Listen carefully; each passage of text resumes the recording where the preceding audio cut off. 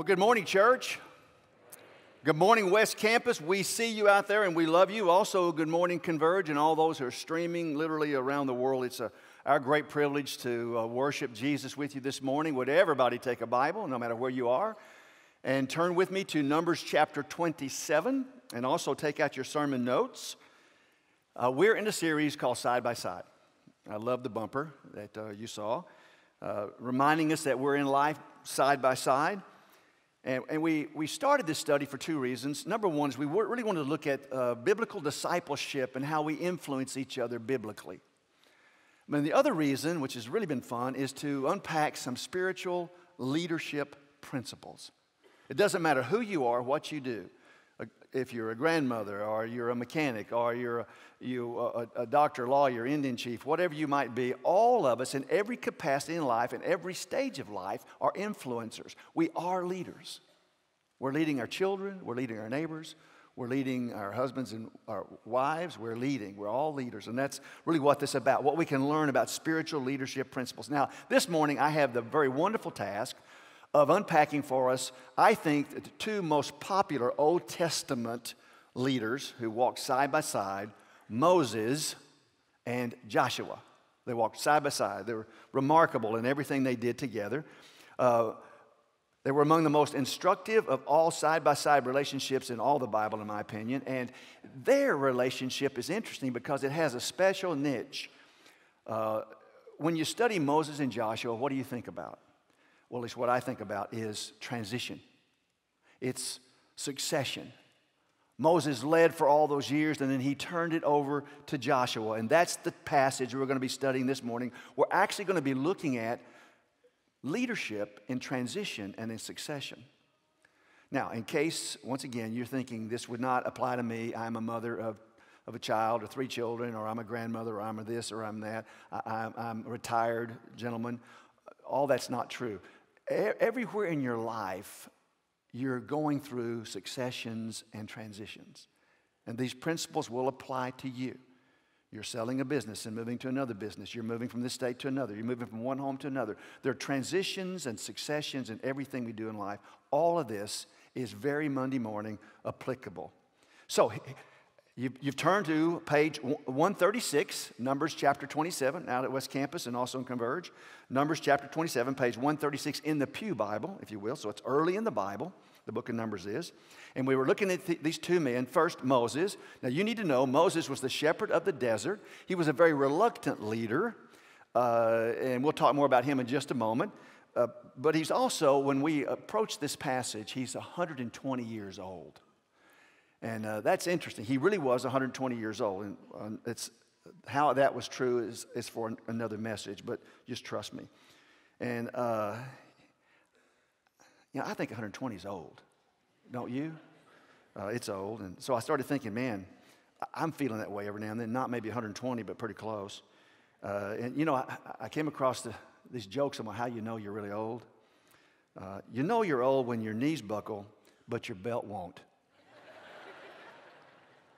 Do I relate to that? You know you're old when everything that works hurts, and what doesn't hurt doesn't work. you know you're old when everything that, you know you're old when you sit in a rocking chair out by Cracker Barrel, you've done this, and you can't get it started. I asked somebody to help me just the other day. You know you're old when you're looking for a wonderful, dull evening at home, and nobody comes around. And for me, this is this one's to, to the point. You, you know you're old when you're trying to straighten out the wrinkles in your socks, and you discover you're not wearing socks. so Moses was old, that's my point. But he was also still very fit and very spry. And then along comes Joshua. Now, Joshua was probably half his age. I'm not sure exactly how old he was, but we know that he was born in Egypt a slave. Remember, Moses wasn't. Moses was born in Egypt a free man. He was a prince in the house of Pharaoh. What a contrast there. Uh, Joshua was born in Egypt a slave. We know he was 40 plus years old because he came out of slavery into the desert for 40 years. He was an apprentice of Moses's. Moses discipled Joshua. In fact, Joshua was one of the 12 spies who went into the, into the land of promise and came back, and only Joshua and Caleb gave Moses a good report that God, God could give us the land. The other 10 said, Too scary. They're too many. They're too big. We can't go. When Moses went up to Sinai, you may have forgotten this, I had, Joshua went with him partway up the mountain, up to get the Ten Commandments. Joshua was captain of the army. Joshua was a vastly different kind of leader. He was mentored by Moses through the negative and the positive of Moses' life. They were quite a partnership. Two completely different, unique leaders called together to lead for God's sake. So, in this text, verses 12 through 23 of Numbers 27, there are five spiritual leadership principles that have to do with trans- transitions and succession in our lives. And I want to look at those. You've got your notes out. Uh, let's begin with verses 12 through 14. Look at those with me, please. Verses 12 through 14. The Lord said to Moses, Go up into this mountain of Abarim and see the land that God has given the people of Israel. Now, that mountain is actually, uh, we know, just across, it's on the east side of the Jordan. Uh, it's also uh, Mount Nebo, but it's, it's a mountain range that you look to the west. And so God takes Moses way up on the mountain range and he looks to the west. Jericho is parallel, it seems, across the Jordan to show him the promised land. The land the children of Israel were going to go into, but Joshua was going to lead them, not Moses. Notice the text. Verse 13. And when you've seen it, you also shall be gathered to your people as your brother Aaron was, because you rebelled against my word in the wilderness of Zin when the congregation quarreled failing to uphold me as holy at the waters before their eyes. These are the waters of Meribah, of Kadesh, in the wilderness of Zin. Now, that last part, verses 13 and 14, there, uh, is kind of a, a private interaction between Moses and between God. Moses came to know Yahweh at the burning bush in the desert. And now God's going to take him. He's not going to let him go into the land of promise. He's going to bring him back into the desert. And there, the two of them are going to do business together as Moses comes to the end of his life. Uh, the wonderful thing about this is you don't see Moses having any pity party. Moses had prospered long for God, he had served God as a faithful servant. There's nothing cruel here. Uh, this whole relationship is for another sermon in the sense of what happened here. Uh, just remember, Moses' anger caused this to happen. And uh, the, the main point here is the main point I want to make is there was a time for Moses of transition. Do you see that? And that's my first point that just it leaps off the page at us. Uh, between Moses and the Lord, this was taking place, but what it's saying to us in the 21st century, any, any reader of this, is that there's a time in every leader's life for transition. That's what he's saying. First point God establishes times and boundaries and responsibilities for all his servants, all of us. For Moses, the first 40 years of his leadership, he was in Egypt in the house of Pharaoh. That was the first boundary God gave him. The second boundary was he called him into the desert. He became the shepherd of the desert for 40 years. And now, these last 40 years, he's, he is the great prophet of Israel, leading them to the promised land. And in our lives, we have the same thing happen. God places us with boundaries, at times with responsibilities. Um, some of us go to high school and that's got boundaries, and then to college and that has boundaries, or uh, to trade school or to work. Our, all, our lives all have God given, manifested boundaries for them, and, that's what you see here. Moses says in Psalm 90 that God has established exactly that, that He is over all things, and, but we are captured, if you will, in time, and we have special boundaries that He sets up. Special boundaries. In Ecclesiastes, I love the passage there's a time for every purpose under heaven. Mom, there's a boundary for you. There's a time for you to be a mother. There's a time for you to be a grandmother. Bankers, there's a time for you to be in that office down there, and God's going to change that and move you to this office or to another bank. Teachers, uh, there's a time for you to teach the fourth grade, and then three years later, the seventh grade. There's a, our lives are segmented up. God has places and times for everything. So, this is about legacy. Leaders plan for the future because change will come. Change will come. So, here's the point ask yourself where am I in my leadership journey? Whatever place you are right now in your life, marketplace Or maybe your leadership journey spiritually, you're ahead of a home group, or you lead a Bible study, or uh, you're the father of a couple children. Wherever you are, the question is are you evaluating that? Have you ever stopped to say, you know, I've been doing this now 20 years, and, and I think I've got 20 more to go. Or, you know, I sense God's really changing me at this point, moving me to a different place, a different time. In Psalm 90, Moses, there are 150 Psalms. Moses wrote only Psalm 90. And in Psalm 90, verse 12, he actually says this that teach us to number our days that we might gain a heart of wisdom. And what he's saying there is stop and evaluate where you are in your journey of life, your leadership journey, and recalibrate your priorities so you can maximize the responsibility God's given you. That's what's happening here with Moses and with Joshua. Uh, drop your eyes to verse 15 and verse 18. It continues on. He records this. So Moses spoke to the Lord, saying, Let the Lord, the God of the spirits of all flesh, really interesting phrase there, appoint a man over the congregation who shall go out before them and come in before them who shall lead them out and bring them in, that the congregation of the Lord may not be a, she- a sheep that have no shepherd. So the Lord said, Okay, I'll do it. Take Joshua, the son of Nun, a man in whom is the Spirit, and lay your hands on him. What do we see here? What principle do we see here? And it's, again, surfaces so readily, just a close look at it. God is replacing Moses with a younger, well prepared new leader named Joshua. It's just that clear, right? And, and I love this phrase. Look, look back again at verse, uh, verse 16. The Lord, sa- he said, Moses says to God, You're the God of the spirits of all flesh. We only see that phrase one at a time in all the scriptures. That phrase means God is ubiquitous, He is omnipresent, he knows every one of us and our character. He knows every human being and their abilities, their gift mix. It's God who appoints leaders. It's His job, it's His responsibility. This is about succession.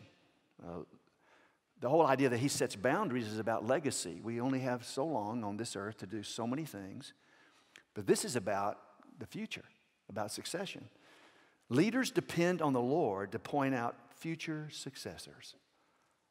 It's a spiritual thing. It is. If we follow human desires, if I were choosing individuals, say, to replace you and your home group or, or myself, uh, I would probably want a person a whole lot like me handsome, winsome, rich, capable, always the life of the party joyful, well dressing, that kind of person. Excuse me. Uh, uh, it's God's job to appoint leadership. It's God's job to appoint leadership. So, look around for evidence of God's hand on others that you're mentoring or that you're discipling. You know, moms, even with your children, grandmoms with your grandchildren. Look, watch them carefully to see what God's doing, who they are. What, train a child up in the way they should go and they'll not depart from it. You know what that means? It means understand who they are and where they're headed and keep directing them that way so that God can use them. God can use them. Look at verse 19 and 20. Verse 19 and 20. We continue in this process of unpacking some of these principles for transition. Make him stand before Eleazar the priest, verse 19, and all the congregation, and you shall, you shall commission him in their sight. You shall invest him with some of your authority. Couldn't be simpler. That all the congregation of the people of Israel may obey. God gave Moses and the people a process for successful succession with Joshua. He gave it to them. If you remember the life of Moses, you should remember that Moses in his early years did not know how to delegate. Remember that if you've studied the Old Testament? Uh, his father in law had to come to him and say, You're not going to survive, because he had this massive nation to oversee. And he was trying to judge every one of the problems. So he appointed judges and he began to delegate and break down the whole nation, and, and it succeeded. Moses, by the time he comes to 120 years old, he has learned his lesson.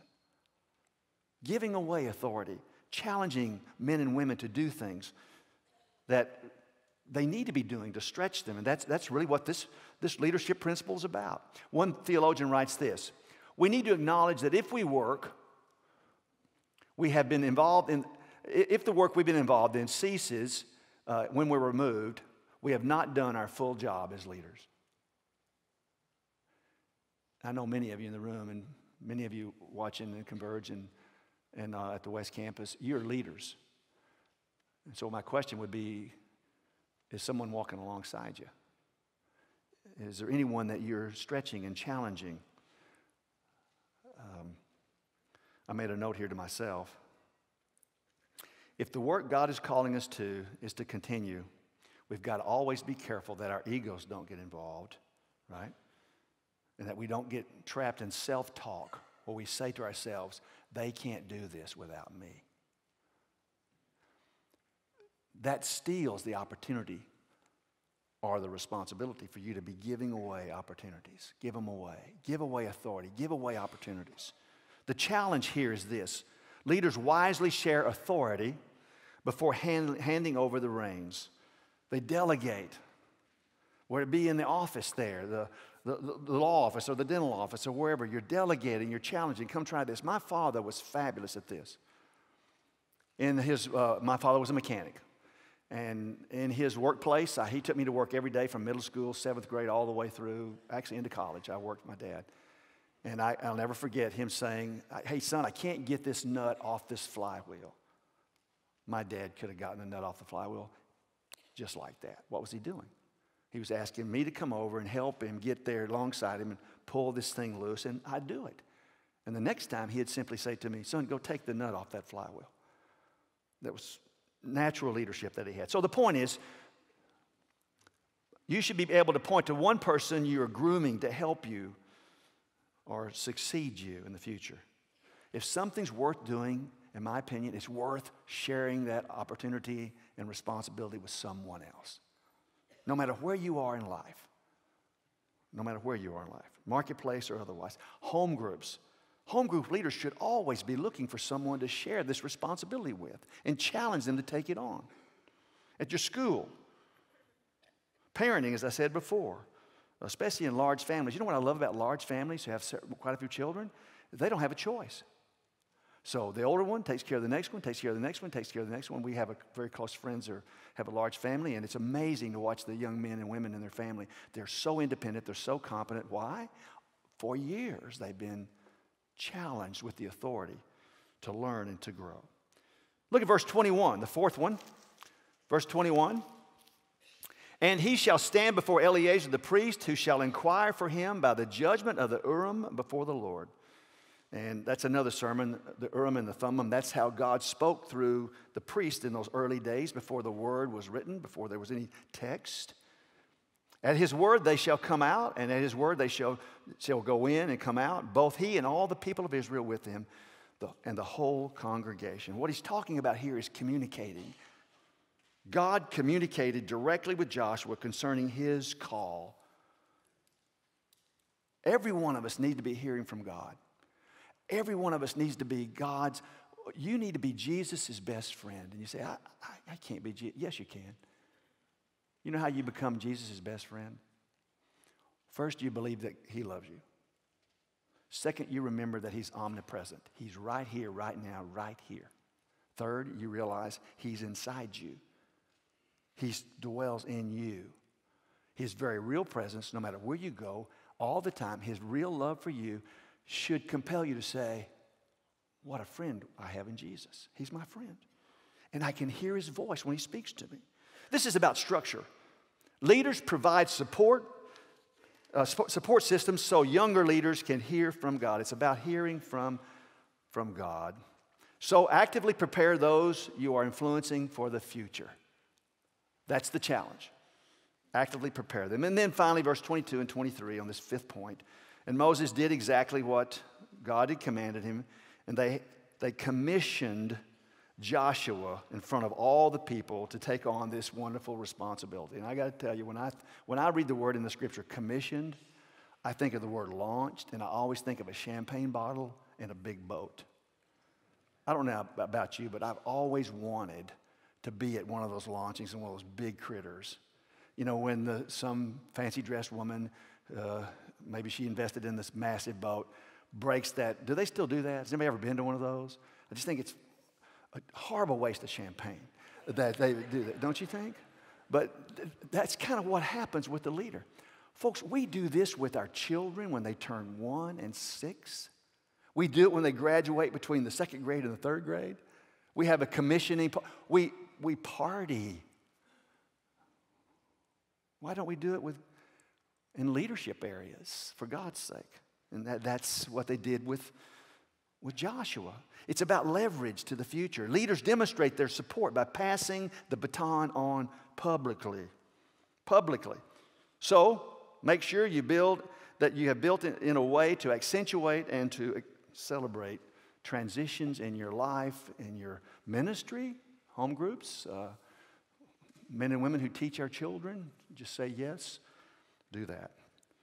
So, so these are five very real principles we're given about succession and transition. Joshua took the nation into the future.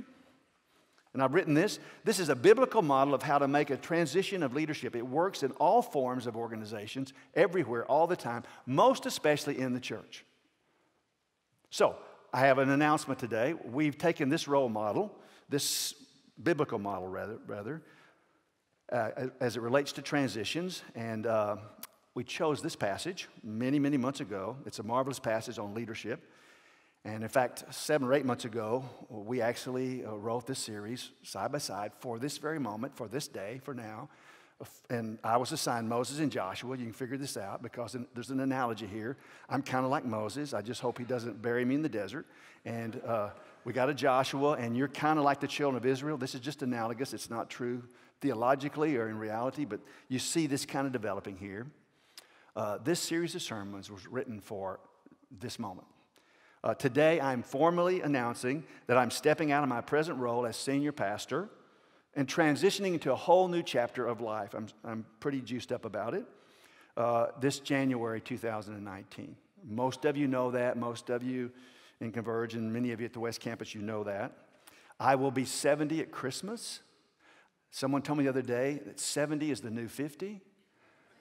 Let me tell you, 70 is 70. my knees buckle, but my belt won't.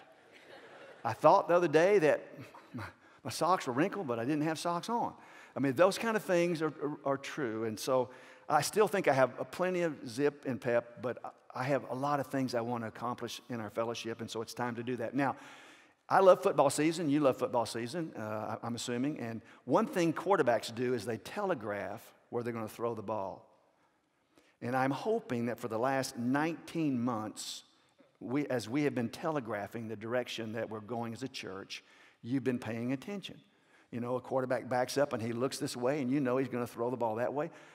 Over the last 19 months, we have been proposing to you uh, actually preparing you for this announcement that also in January 2019, Dr. Cody McQueen is going to become commissioned as our new lead pastor for Christ Chapel uh, for our whole family.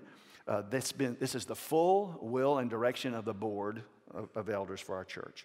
So, as I said, it's kind of like I represent Moses in a sense, you, the children of Israel, and uh, sweet, wonderful Dr. Uh, Cody McQueen, who's out at the West Campus right now today uh, he is going to take over the role of leading the church along with the elder board and the rest of the staff.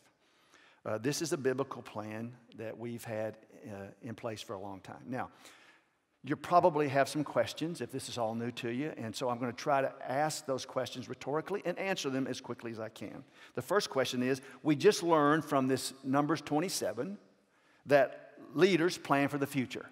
I consider myself to be a leader. I didn't say a good one, but leaders plan for the future. So that's what we've been doing. The question should be how have we planned for this transition? So I want to chat with you just for a moment. And If you'll just hang with me, you'll understand where we, we're coming from. Uh, eight and a half years ago, At a February annual Elder Board retreat, uh, Lynn and I tendered our written resignation from this role at Christ Chapel. We literally gave to the Elder Board a written resignation. This was February 2010. Uh, it's important for you to know that because hopefully that gives you some perspective on the on ramp for Cody and the off ramp for Ted uh, over, it's been eight and a half years. So when I did that, obviously, you see, I'm still here now working. I still get a paycheck, I think, for eight and a half years. So what was that about? And the answer is Lynn and I felt very led, even though I was only at the time 62, that this church has tremendous future. Tremendous. God has had his favor on this church for all these years. And if we didn't take transition seriously, we could very easily lose that platform. Very easily lose it. So many spiritual things. So I was firing a shot, if you will, across the bow of our leaders, which they heard loud and clear. Uh, thousands of people have come to Christ over the years we've been here. This church is 38 years old, started October 1980. Uh, baptisms, thousands. Lives changed, marriages healed, God's Spirit. It's been, it's been an incredible journey. And Lynn and I couldn't be more pleased to have been part of this thing all along the way. And really, the ministries and the growth of the church and the depth of the church, we're around the world this morning. We have five Christ Chapelites on, on Chapel Hill, members of our church on Chapel Hill, working, excuse me, on uh, Capitol Hill, working today in, in D.C. for good conservative values for this country, including the vice president's own personal assistant, who's a member of this church, Steve Pincos, et cetera, et cetera. We have 38 missionaries around the world that you support. The ministries to children are just vast and, and wide. I could go on and on, but I, I, run out of time telling you that God has given us a platform. And so I personally believe, and so has Lynn, over all these years, we have to be very careful about this transition. It needs to be done right and appropriately. The ministry has always been a team effort. God has given us very pleasant boundaries, and you've been a part of that.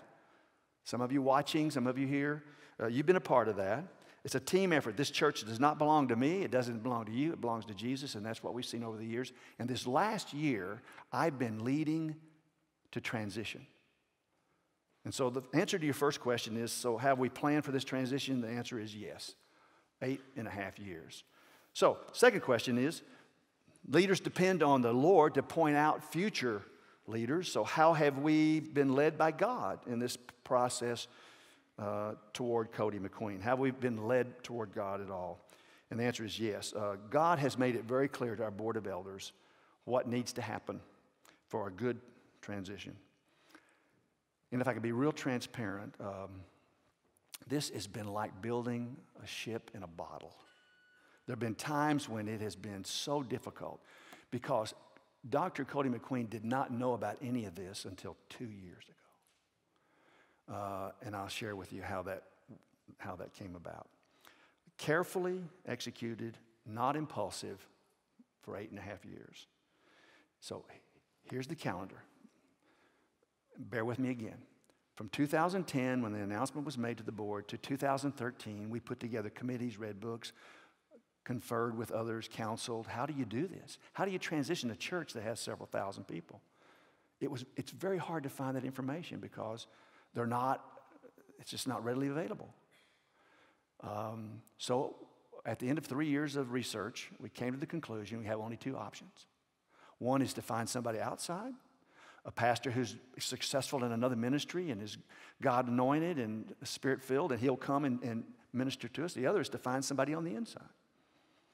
We, we, after some discussion with pastors around the country and other counselors, we came to the realization, you know, finding somebody from the outside, uh, many churches have to do that. And some of you have been through churches who've done this. N- number one, a very small percentage of them ever succeed, which is scary because they don't know your DNA. They haven't been here for 37 years, 10 years, five years. The second thing is they almost always bring their own staff with them. I, our board was not willing to let our most excellent staff lose their jobs to bring someone else in. And thirdly, if uh, someone from the outside came in, we would have to actually, uh, Lynn and I would have to leave. and your family, your home. We're not leaving. I mean, I mean, I guess we, we could be thrown out, but I, I mean, there are elders here, and I guess you could do that. But, but you could see that it was precarious. So the board looked at that seriously and said, you know, is there anyone on the inside? And so uh, after a while, the spotlight fell on young Cody McQueen. In 2014, 2015, we did some most unusual things. We did build a bottle, uh, a, a, boat in a bottle, and here's how we did it. We uh, first started a teaching team. Prior to that, uh, I had done most of the preaching, teaching, and just had a guest come in occasionally, but we had a formal teaching team. Myself, Dr. Mark Bailey, Cody McQueen, and uh, Doug Cecil. Why did we do that? Well, I could use some help, yes, but that's not the reason we did it. We did it so we could see Cody McQueen in the pulpit without him knowing we were looking at him. that's the truth. The second thing we did is Bill Egner sent him back to school, so he got a doctorate in preaching. The third thing we did is we actually put him on the board of elders so we could see him around the table. He was very young elder may have been the youngest elder we've ever had. So we could see him make decisions for the whole body of Christ called Christ Chapel. And then, thirdly, you know, we have the West Campus out there. We put him out there as the pastor of the West Campus. He was the campus pastor. So we could see him function with his own staff of 10 or 12 staff members out there. In 2016, the board came together after some prayer and fasting and said, Is Cody McQueen our candidate? And the unanimous answer was, He's the candidate. He's the candidate, which means we're going to ask him if he'll walk the pathway with us.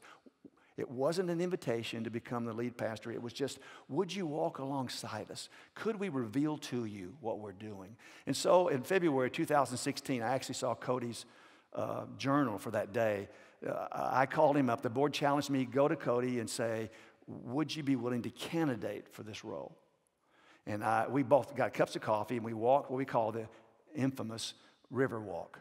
We walked along the river, and I revealed to him these little dots that I just gave you. We put you in school so we could see, uh, so you could get further training in preaching. We put you on the elder board. We, we put you into the teaching team. We, we, and when I finally stopped on this walk on the river here and said, So I'm here on behalf of the elder board and the Christ Chapel family, would you be interested in candidating for this role? He was, yeah, stun's an overstatement he was, he was stunned. He, he was stunned. He, he really didn't know it. And so, at least if he did, he never expressed that to us whatsoever. He said yes after 10 days, he and his wife Jen praying about it. He came back and said, I will candidate. We candidated him for a year. And just a few months ago, in 2017, uh, last year, the board gathered together on a Sunday evening and we prayed and prayed, and actually, I recall, got down on our knees and asked God, Lord, is this it? And remember, we do everything unanimously. And here's a picture of that evening. We said, Yes, he's the man. And what you see here is the elder board saying, Yeah, we're, we think it's Cody McQueen. We think it's him. We went to him, we expressed that to him, and he said, Well, uh, this is amazing. Uh, I'll do whatever God has called me to do. And I thought of Isaiah 6 8, where Isaiah says, Lord, send me. And that's kind of what Cody said. If that's what God wants me to do, he said, I'll, I'll do it. That's how we got here. I tell you that just to be sure you understand this has been careful planning. It's been very difficult. It's been very spiritually led. It has not been impulsive. It wasn't that one day I was real tired and said, Hey, young man, come over here. I need some help. Uh, it didn't work that way at all. This has been a very God honoring, Christ fulfilling spiritual push. Three, leaders wisely share authority before handing over the reins. How have we prepared him? Well, Cody has been prepared by Christ for this job. He's 37 years old. I was 32 when I came here. He's been here 11 years. He's done so many different jobs on our staff over these last 11 years. God's given him a wonderful wife and Jen, two super young boys. That alone is a training camp right there, those two young boys. They're marvelous. But you know, as a father, you've got more than just a church to take care of. You've got you, you've, got, you've got a family. He can preach, he can teach, he has the full unanimous approval of the elder board. Four, fourth question or comment Leaders provide support systems so young leaders can succeed. So, what have we done to provide safety nets for uh, Dr. Cody McQueen? And the answer is Bill Egner and I still meet with him every week. Constantly, we're mentoring him and tutoring him. Uh, there's a lot of things that Cody's still learning. We pray for him all the time. He's, we're, we're walking alongside him, side by side. You know, it's easy for me to tell stories about my life because I've lived so much longer. And the longer he lives and the more experience he has, the more he's going to see God at work in him and, and the more things he's going to have to teach you and the more developed his spirit's going to become in teaching. The final thing is leaders pass uh, a baton publicly offering their support. So, how are we officially going to pass the leadership role to him? Here's how we're going to do it.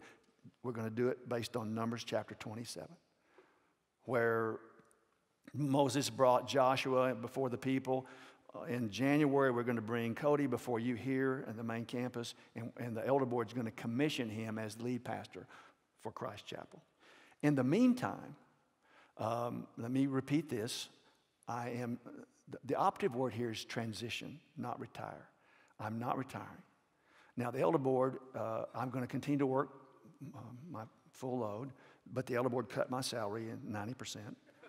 Uh, okay, guys, uh, let up, will you? Um, no, I'm, and that's not true, but I, am going to continue. I'm moving to a different office. I will no longer be on the Board of Elders in January. Uh, I will be a staff member, fully involved, fully engaged. There's a lot of stuff I want to do. Uh, I'm super engaged with the Life Stage 2 and with the college ministries at Aardvark, uh, the West Campus. There's some great things happening out there. I, I've got more to do than I can possibly get done. I'm going to continue to do that. I'm only transitioning out of this role.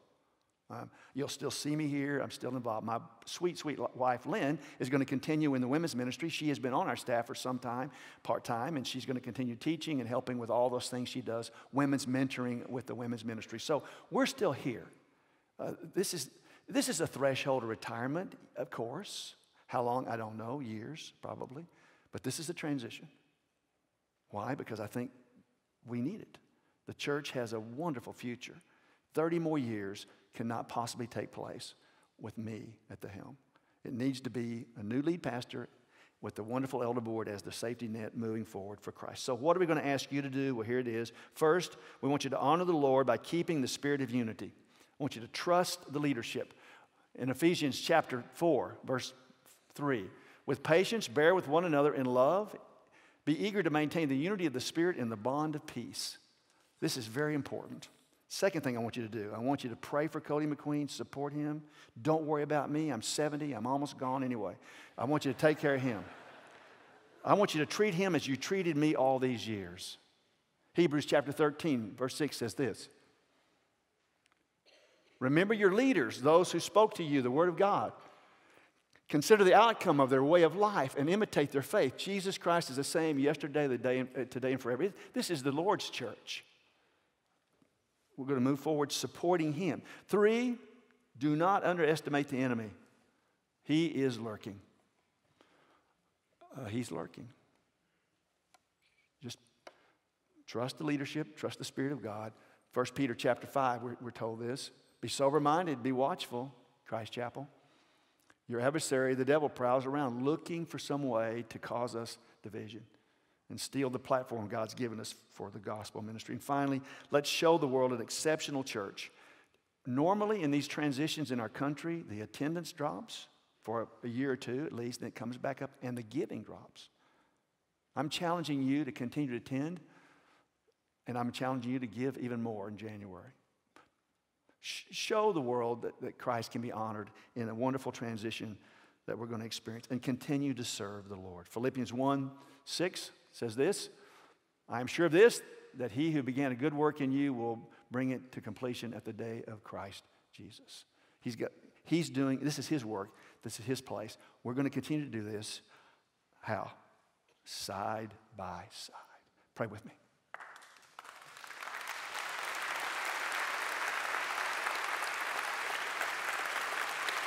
Thank you.